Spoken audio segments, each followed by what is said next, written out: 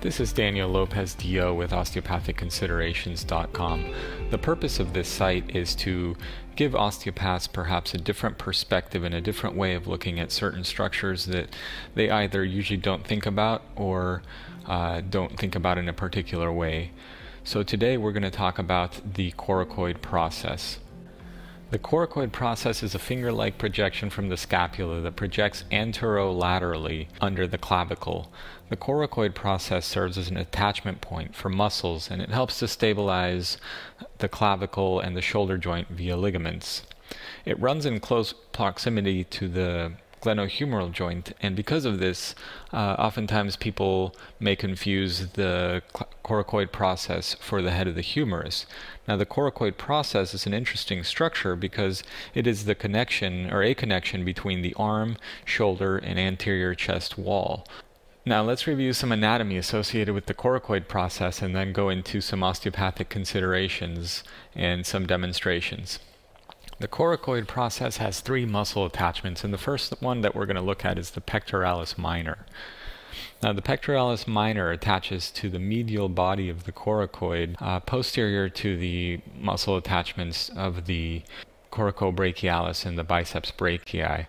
The pectoralis minor attaches from the coracoid process to the ribs 3 through 5 on the chest, and pectoralis minor is innervated by the medial pectoral nerve which arises from C6 to T1. Interestingly, the medial pectoral nerve also pierces the body of the pectoralis minor. And in a Japanese study, there uh, was a mention that there is communication from extramural fibers that are supplying the intercostal muscles to the medial pectoral nerve. So uh, that could be impo- important to address the extra or the intercostal uh, muscles, as that may they may also have an impact on the uh, pectoralis minor. Next, we want to look at the biceps brachii, and the biceps uh, is attached to the coracoid process via its short head, and the long head of the biceps attaches to the superior glenoid. Uh, on the at the other end, then the biceps attaches to the radial tubercle, and then also the bicipital aponeurosis. So uh, it does have an influence on the elbow, and the elbow then, as a result, could have an influence on the coracoid process. The bicipital aponeurosis continues into the deep fascia on the medial part of the forearm. The biceps brachii is innervated by the musculocutaneous nerve. Finally, there's coracobrachialis. Coracobrachialis attaches from the coracoid process to the upper one third of the body of the humerus, and coracobrachialis is innervated but also pierced by the musculocutaneous nerve. Next, let's talk about ligaments. There are five ligaments associated with the coracoid process that are involved with limiting the motion of the clavicle and the acromion and also stabilizing uh, the shoulder. The coracoclavicular ligament is the first one that we're going to talk about, and that cons- consists of two portions. Uh, one is the conoid and the trapezoid ligaments, and these work to stabilize the clavicle. Uh, the trapezoid ligament is anterior, but it and it, it attaches to the undersurface of the clavicle, and the conoid also does, and uh, it is more posterior. They both are uh, attached to each other, and anterior to the coracoclavicular ligaments, we have the subclavius and the deltoid, and then on the posterior aspect, you have the trapezius covering them. The coracoclavicular ligament is considered part of the AC joint, even though it's not actually part of the joint, and that's because of its importance in maintaining the relationship of the joint. The coracoacromial ligament runs between the coracoid process and the acromion, both of the scapula, and the purpose of this ligament is it helps form a vault protecting the head of the humerus.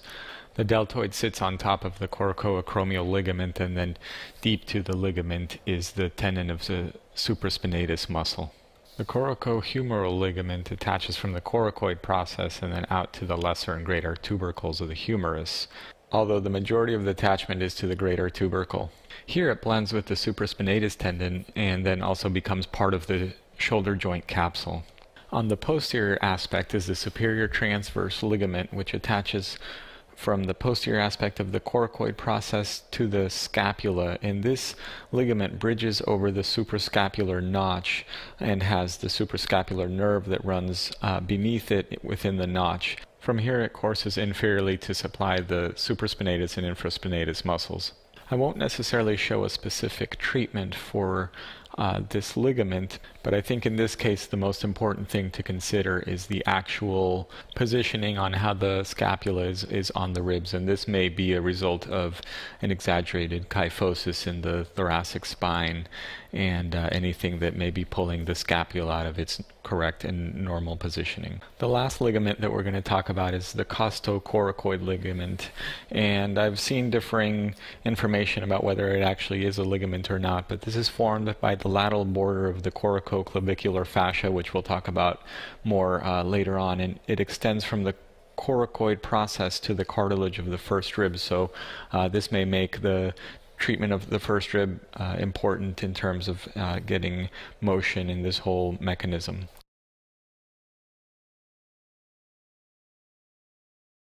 The clavicopectoral fascia runs deep to the deep layer of the pectoral fascia that covers pectoralis major. And there is loose connective tissue between these two fascias to allow them to glide independently of each other. The clavicopectoral fascia arises from the clavicle and then envelops the pectoralis minor and the subclavius muscles. The clavicopectoral fascia also forms the coracoclavicular fascia. There is a triangular shaped layer of the clavicopectoral fascia from the upper border of the pectoralis minor to the clavicle that's named the coracoclavicular fascia. And this fascia is pierced by the thoracoacromial artery, the cephalic vein, and the lateral pectoral nerve that supplies the pectoralis major muscle. Now let's go back to the clavicopectoral fascia. Superiorly, the deep layer of the clavicopectoral fascia covering the subclavius muscle blends with the deep cervical fascia. And laterally, it helps to form the axillary fascia and then also the fascia of the coracobrachialis muscle. Medially, the coracoclavicular fascia extends from the coracoid process to the cartilage of the first rib, and then also the first two inter- intercostal spaces, with, it, with its thick lateral border named the costocoracoid ligament, as we mentioned previously. Now let's go over some osteopathic considerations. As with any structure, it's always important to understand normal versus abnormal anatomy.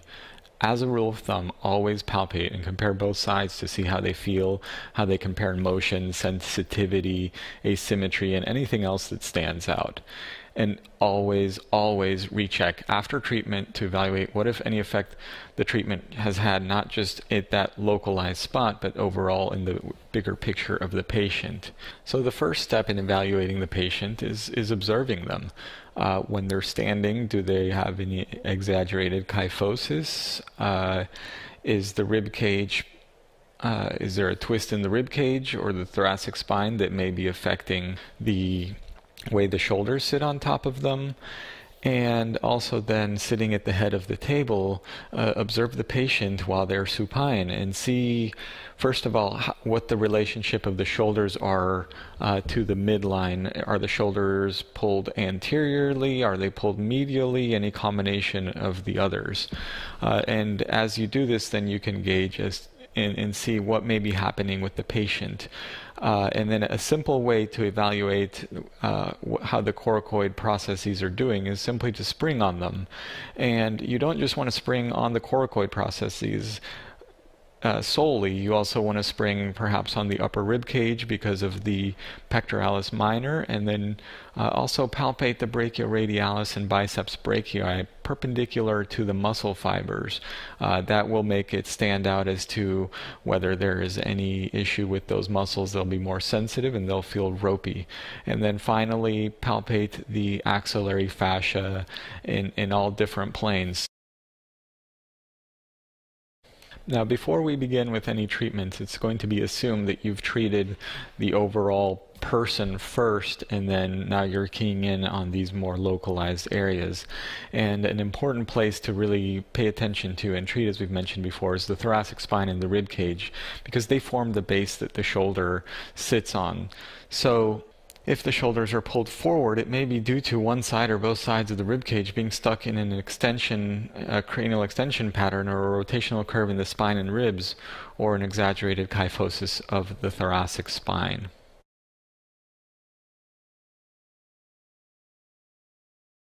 To evaluate the coracoid process, first uh, we're going to do a quick and dirty evaluation of, of some things to check uh, that are associated with the coracoid process. So First of all, we want to uh, palpate it, and you're going to find the, the knob um, along the lateral aspect, just medial to the head of the humerus and inferior to the, to the clavicle.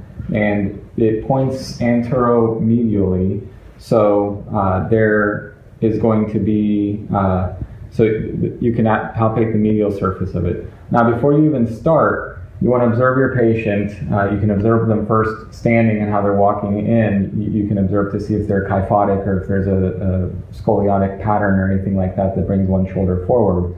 Uh, evaluating them supine, you also want to check uh, one is one shoulder more anterior uh, than the other, and you can compare the two, and then also if one shoulder is closer to the midline than, than the other. So those are all things that you want to start out with evaluating. So now uh, we, we, do we can palpate the, the coracoid process and, and we can do a quick uh, just a quick spring on it to see how well it moves and also can we can get a hold of the clavicle and, and wiggle it back and forth uh, along uh, near where the coracoid process is to see, to evaluate it. After that, the uh, coracoid process also has the pectoralis minor attachments to it, so we can do just a quick spring on the rib cage along there to see how that feels and to see if there's any involvement there. Next, we want to check also the uh, glenohumeral joint and see if uh, there's any compression there. A lot of times it, can, it, it, will be compressed at the joint, and then also the head of the humerus will be driven uh, superiorly up towards, uh, right underneath the acromion, and that can limit the motion of the shoulder. Uh, and then after that, uh, the coracoid process has the coracobrachialis attached to it, and that attaches to the upper third of the glenohumeral or the, the humerus. So we can we want to palpate the muscle medial uh, medial to the biceps, and then we want to move our fingers perpendicular to the muscle fibers. And if that feels ropey, uh, likely that's going to be tender and, and there's, there's going to be sensitivity there. Uh, we can also do the same with the biceps and there's a ropiness there. You can uh, you can almost see it as well. And then lastly, we want to see how the how the elbow moves, uh, and, and we can do that by supinating and pronating, and then also checking its, its end range by taking it into extension. And we'll go more in detail as we go along with, with, with each thing that we're going to treat.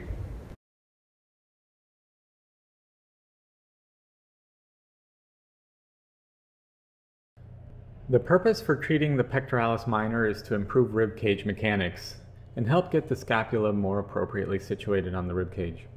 Having the scapula appropriately positioned on the rib cage can help release any tension on the suprascapular nerve going through the suprascapular notch under the transverse scapular ligament. Releasing the pectoralis minor can also help release intercostal muscles deep to them or vice versa. The purpose is not just because its ability to influence the rib cage and pull the coracoid antero-inferomedially, but also to help release the clavicopectoral fascia. Releasing the clavicopectoral fascia can help release the subclavius muscle, which may then help improve rib 1 motion. This can help if there is a compression of the neurovascular bundle between the pectoralis minor and rib 1.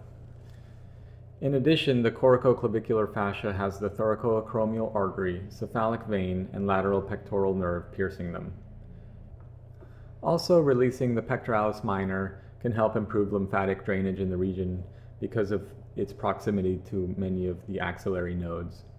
Normalizing function of the ribs can downregulate any facilitation of the medial pectoral nerve piercing the pectoralis minor and have an effect on the sympathetic chain ganglia sitting on the posterior rib heads as rib function is improved. A release of these structures associated with the coracoid process can help improve shoulder, arm, and rib cage mechanics. So for the pectoralis minor, the very first thing we want to do is treat the clavicopectoral fascia, and that uh, starts at the, at the clavicle and then it wraps uh, underneath or around the subclavius muscle and then it envelops the pectoralis minor. So the very first place we want to even start is actually going to be getting the fascia directly under the clavicle. And so we can do that very simply indirect or directly or indirectly. Uh, in this case, I'd like to evaluate it directly and I check it in all different planes, uh, in both uh, in a superior, inferior, plane and then also medial to lateral. And, and I will often try to release that uh, simply by uh, getting the fascia wound up tight until that releases. And, and that can help also release rib one because of the subclavius attachment there. Uh, and then once this releases under here, then we can go and check underneath the pectoralis major muscle, that's where the clavicopectoral fascia uh, continues and envelops the pectoralis minor. Uh, that the two planes of fascia have loose connective tissue between them, so that the two planes can can glide well. So then we can get under the pectoralis major as best as we can, and then palpate that fascia and the ribs as well.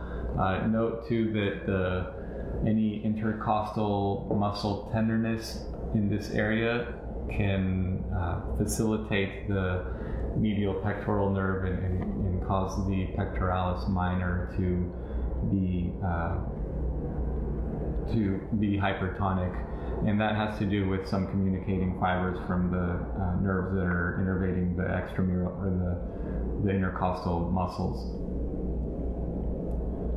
once this releases, then what we want to do is we want to we want to disengage the whole shoulder complex off of the rib cage and then bring it.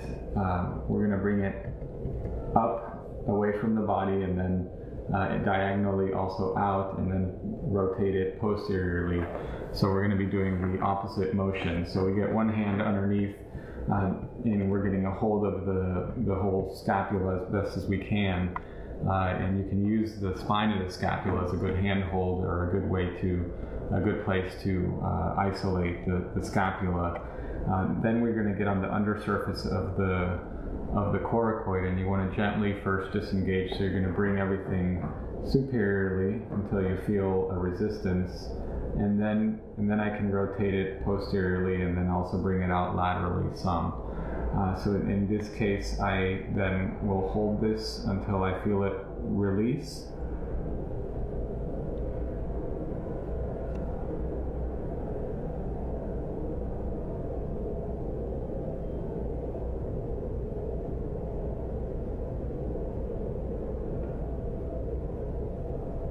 And then go back and recheck to see how things are. If you need, you can also get a hold of the uh, the coracoid process in the spine of the scapula with one hand.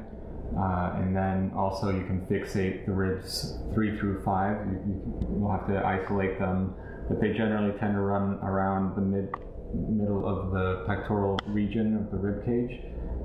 And then once you have them isolated, you can uh, you can also wiggle your the coracoid process, and you'll feel the, the ribs associated with the pectoralis minor wiggle. And once you isolate them, then you can also uh, you can also use your hands uh, on those ribs to fixate them and then move the uh, move the coracoid process in whichever direction you can take it direct or indirect until those let go.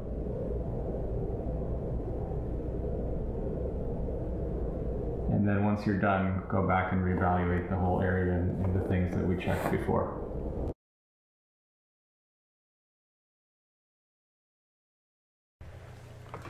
The purpose of the lateral scapular release is to reposition the shoulder complex more appropriately on the rib cage. This can help get pressure off of the rib cage, allow the fascia to unwind, and let the muscles involved to relax. This will allow better expansion of the upper rib cage during inhalation and better uh, compression or recoil during exhalation. Releasing a medial shoulder often allows the trapezius to relax as it attaches to the clavicle and the scapula. The abnormal medial position of the scapula may cause it to form knots. This release can Im help improve lymphatic drainage by creating more space and less tension in the region. Okay, next we want to do the lateral scapular release, and this is simply to first of all get the uh, shoulder complex off of the midline because a lot of times it will be pulled, the shoulders will be pulled medially, and that can affect the whole, uh, the whole, all the muscles and everything associated with the shoulder. Uh, in this case, I'm going to demonstrate it on the right side, which is actually the side that is uh, better compared to the left. But in this case, after treating it, then we have something to measure against uh, for when we, we, would do the, the left side. Uh, so this is done similar to uh, how we did part of the pectoral minor release. Uh, and, and what we want to do is get a hold of the of the medial border of the scapula. So I'm going to do that with my bottom hand and get as much of the, the bottom or the medial border of the scapula as I can. And then I'm going to place traction on that. But before I do that, I'm going to get my whole hand as best as I can, uh, this portion of my hand under the clavicle, and then even a little bit medial to the coracoid process. So then having that handhold, I can bring everything first superiorly and then laterally. I'm going to provide traction once I've got it all, uh, once I've got it disengaged off of the rib cage. So once I've got that, then I'm just going to hold this traction here until it releases, and then I'll go back and recheck uh, how things have changed.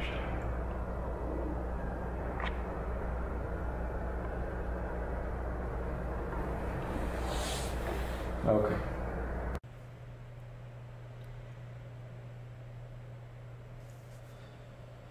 The purpose of releasing the elbow joint is to improve the function of the elbow and as a result get the biceps brachii to relax.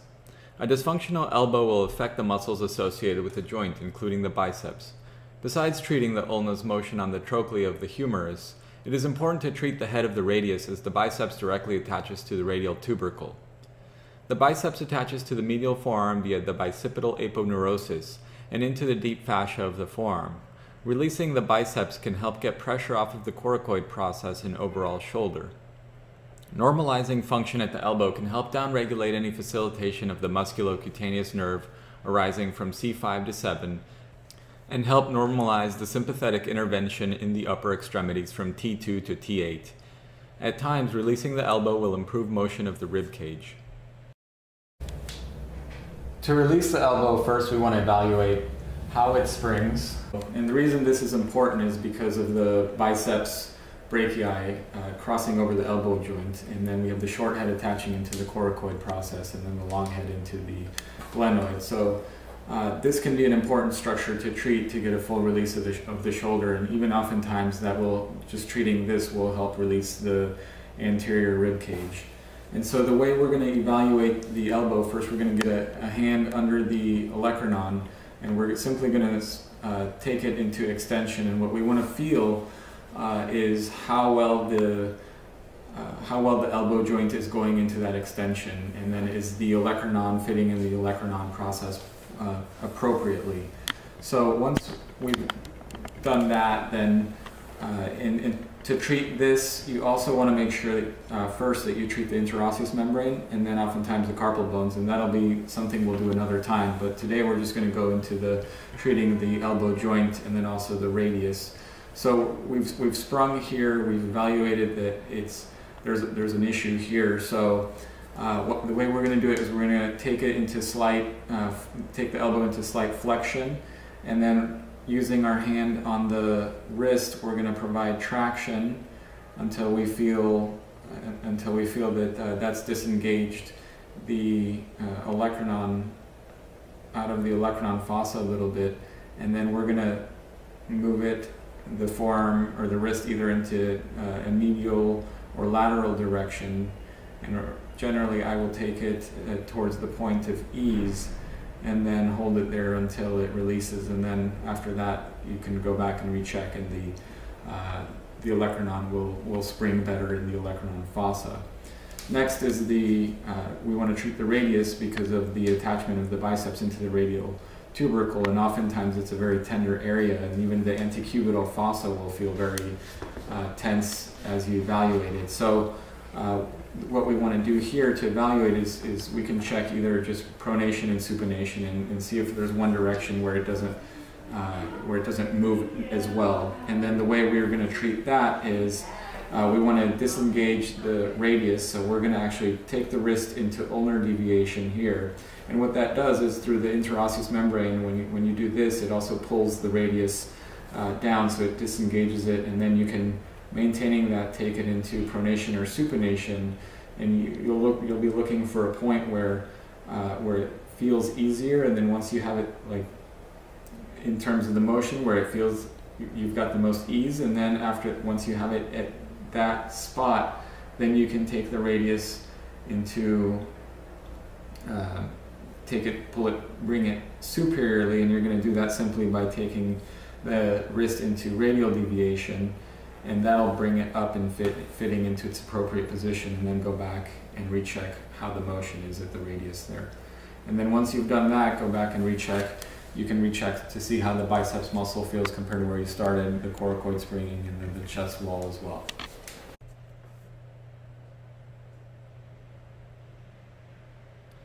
The clavicle is important not just as an often overlooked component of the shoulder, but also as an attachment point for muscles in the clavicopectoral fascia. As a result, the position of the clavicles can produce tensions through the fascia that result in bad posture. In this case, we're trying to free restricted movement of the clavicle on the coracoid process. This can help free fascial planes and improve shoulder motion by helping the clavicle move better through its normal motions. Next, we want to treat the coracoclavicular ligament, and that ligament runs uh, from the coracoid process to the undersurface of the clavicle. It's made up of the uh, trapezoid portion that's uh, anterior and then the conoid portion that's posterior, and they're both attached to each other. Uh, but so what we want to do is fixate the coracoid process and, and you can do that either uh, anteriorly with one hand, or you can you can use a, a handhold where you have the coracoid process with uh, either your thumb or your fingers, and then uh, the other portion under the spine of the scapula. In this case, I'm just going to fixate the coracoid process anteriorly. Then you, you can get a hold of the clavicle near the angle here, and what you want to feel for is uh, you, you can fix you can fixate the coracoid process and then glide the clavicle either anteriorly or posteriorly and just see how well it moves. The ligaments are going to work to restrict the motion, so that can give you an idea of, of where things may be uh, where may be taut with the ligaments.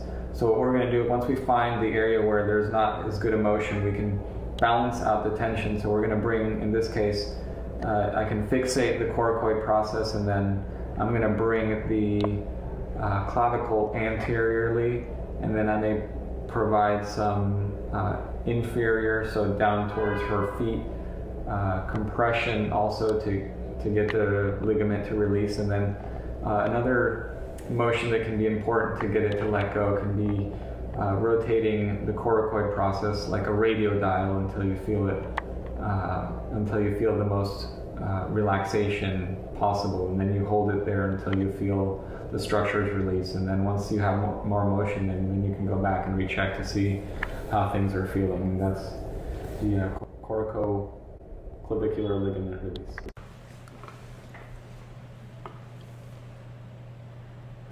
The glenohumeral joint often feels compressed where the head of the humerus is internally rotated and may be pulled superiorly and then compressed under the acromion in the vault formed by the coracoacromial ligament. This will have an effect on the shoulder muscles and fascia associated with it. This can cause the biceps brachii and coracobrachialis among other muscles to be hypertonic by facilitating the musculocutaneous nerve. Therefore, releasing the axillary fascia can help release the clavicopectoral fascia and the fascia enveloping coracobrachialis. Furthermore, an abnormal relationship here can make the coracohumeral ligament to be taut and put tension on the shoulder joint capsule. The shoulder can be influenced by the axillary fascia. Releasing the axillary fascia can also improve axillary lymphatic drainage. The purpose of releasing the glenohumeral joint overall is to release and normalize these structures when they are dysfunctional.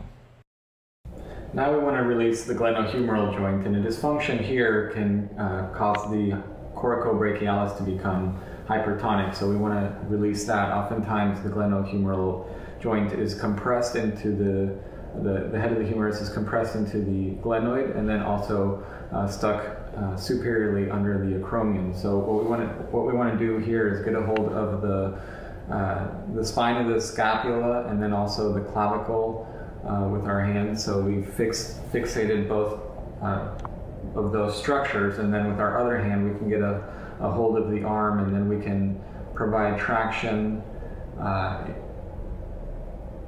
at the shoulder, so we can bring it down, and then you can um, you can get it out of the uh, from under the acromion.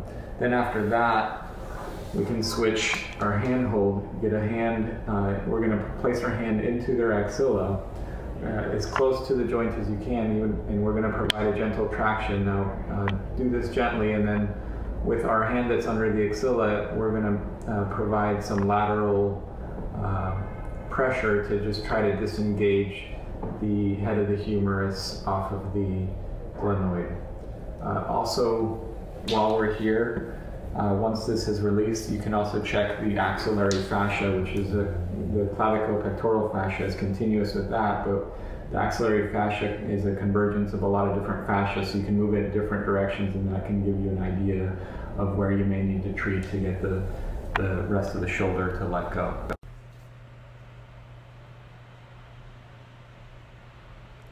A strain pattern in the coracoacromial ligament can be indicative of an intraosseous strain of the scapula.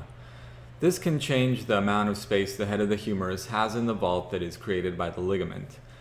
This can be affected by the head of the humerus being anterior. After relocating the head of the humerus on the glenoid, then we can work to normalize the coracoacromial ligament, and by releasing an intraosseous strain, a more correct shape to the vault can be achieved. This can help maintain the optimal position of the glenohumeral joint.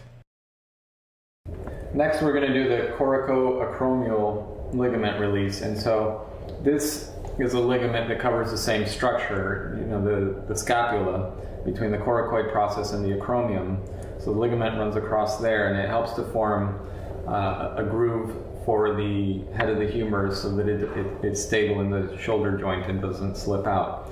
Uh, this can this can become strained through an intraosseous strain that's a warp within the bone itself, and so uh, we can palpate it.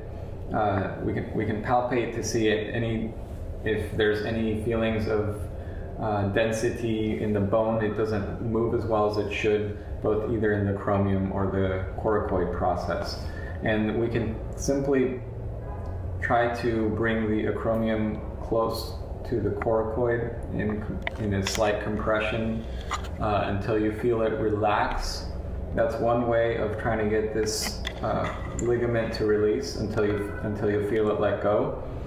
Another method that I like is uh, one is through uh, Stephen Davidson's work of neurofascial release, and if there's a intraosseous strain, so warp within the bone, you can palpate the strain and then uh, using the other hand this hand monitors, the other hand will uh, can, can be anywhere on the body and it's going to look for a point where uh, things release. So in her case, as I bring my hand uh, closer to uh,